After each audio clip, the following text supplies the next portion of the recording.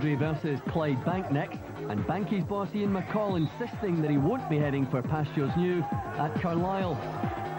Airdrie took the lead here through an OG. Colin Scott saving the shot, but Joe McLaughlin putting through his own goal.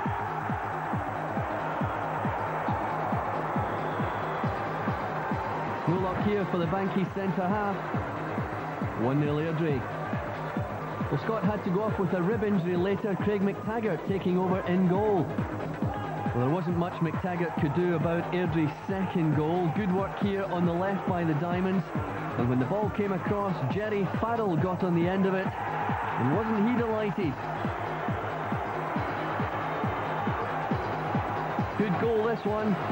The Airdrie fans enjoyed it as well. Full points to them. They go to St Mirren next week.